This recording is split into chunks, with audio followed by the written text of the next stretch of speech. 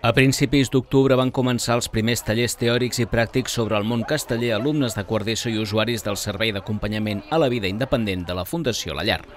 Un centenar de persones participa ja d'aquesta introducció al món casteller.